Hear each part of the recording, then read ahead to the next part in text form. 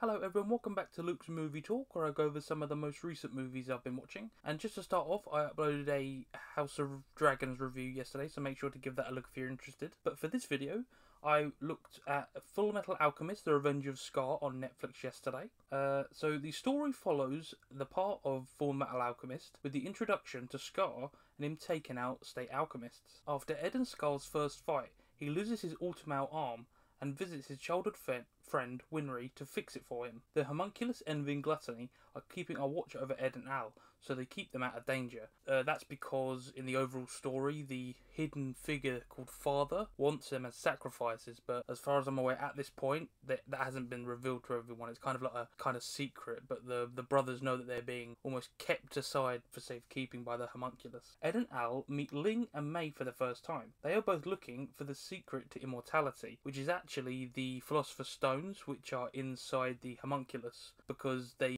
they can sense them the Ling, Ling and his two servants can sense the amount of souls inside of them, but they don't know why yet. They've got a feeling that it's something to do with them, so they're trying to capture them and find out why. Lots of flashbacks of the Ishvalan War set up a lot of the overarching stories for Scar and the backstory for Mustang and a lot of the other alchemists because they ended ended up getting involved in the Ishvalan War, and it's very much hanging over them as a big part of their lives now. And they a lot of them have almost like blackened hearts because of it, and it hangs over them. During their next fight, Winry finds out Scar is the one who killed her parents. So we've had flashbacks of the Ishvalan War and find out that uh, Winry's parents are the ones that stayed behind to look after Ishvalan injured people, and they ended up actually saving Scar's life. And unfortunately, in a rage, he killed them, and Winry somewhat not forgives him but accepts it and understands it's happened. Uh, we get some more flashbacks from different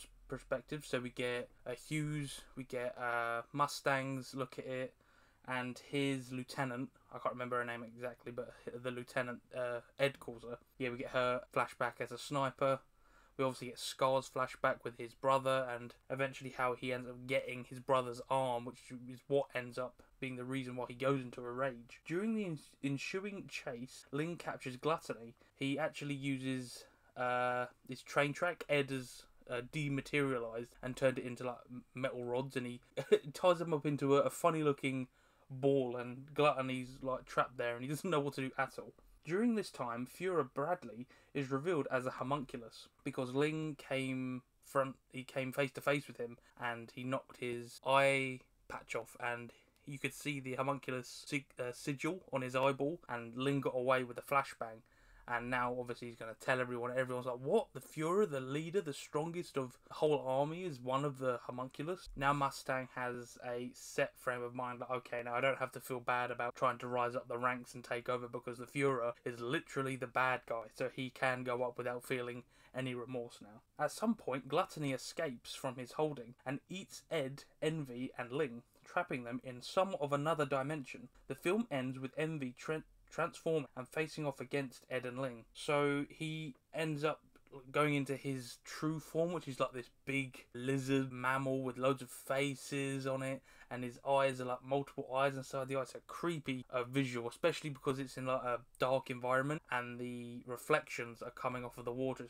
so it's giving the creature a shiny look, and it looks really gruesome.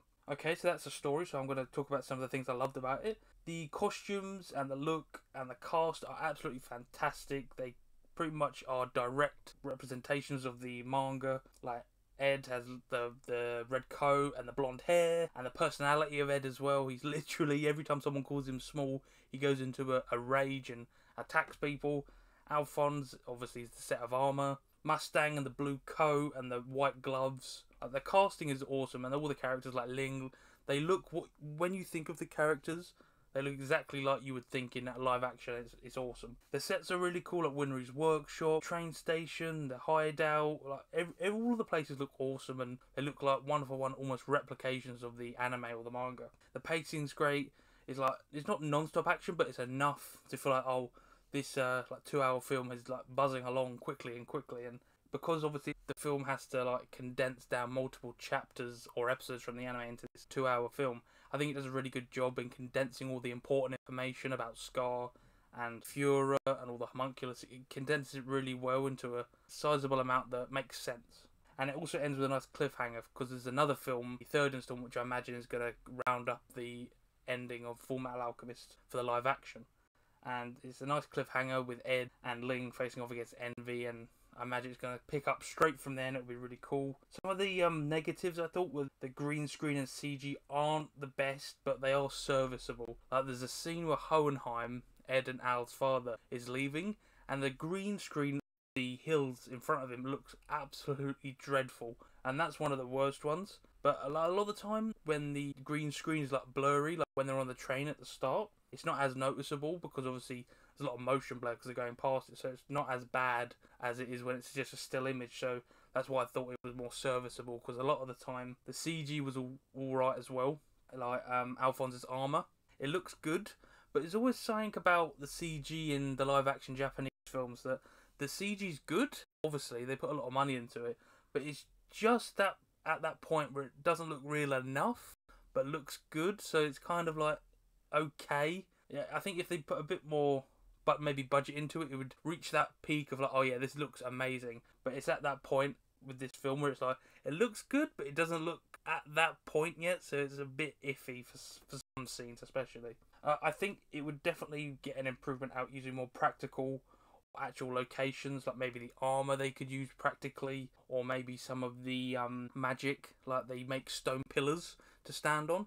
Maybe have that as a practical, like almost like a lift going up instead, or the the actual locations as well. Like a lot of the time, like one building and then CG city around it. It'd be great if they went to like I don't know a European country where there's a lot of older castles and older cities and recorded on there maybe because the CG is fine but you can tell it's CG and green screen, which is the bummer because the story's great and it can be distracting sometimes, which is a real bummer. But that's what I thought overall. The overall story is what carries it for me because I love the story, the characters, and for this live action, I think they did a really good job in uh, encapsulating that as a whole with the casting, costumes, and the look of the characters. Really held it together, even if the CG and the green screen does hold it back a bit. But yeah, that's what I thought of this uh, Alchemist live action film on Netflix. If you did like the video, make sure to leave a like and subscribe to keep up to date with all future.